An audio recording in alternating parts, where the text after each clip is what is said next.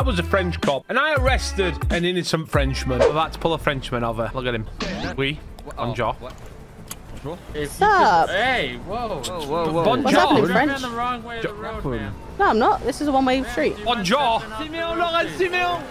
Uh, we're going to be the 1080 now. What seems to be a funny looking Frenchman in a white car. Oh, the brake check me!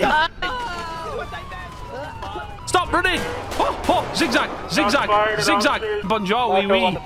Brake check, boom. Well done, Lauren. Stupid. Why did you get into the back of me?